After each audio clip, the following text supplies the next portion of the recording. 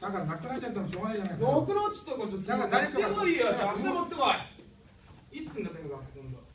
友達からもらってくれよそれだなんで友達からもらわなきゃいけないの？てめえのからそれ置いといてだったけど何になっちゃうのしょうがないだろなんだ。もうねこればっかしょうがな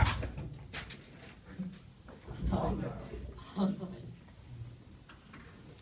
てめえが持ってこいよ。分かったかじゃあいいよ。テストまで持ってこい。分かったかおいテストまで持ってこいよ。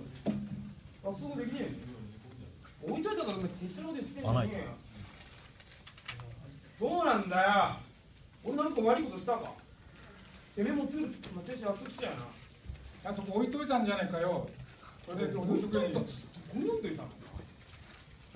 おめえじゃあよおめえよどんな適当なことばっかり言ってんだなおめえでこれのところ後で内田先生とこあのであのプリントアウトするから内田先生じゃあ内田先生持ってきて持ってこさせろよ。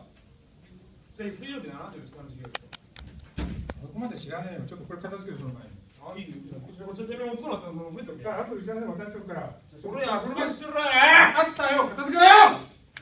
なんだよ。手出してく出ろよ。手出るとこ出して出るとこ出ろ。手出してくれよ出るとこ出ろよ。じゃあお前の男殴れよ。殴れよほらその前片付けろよ講師に向かう言葉か俺それは。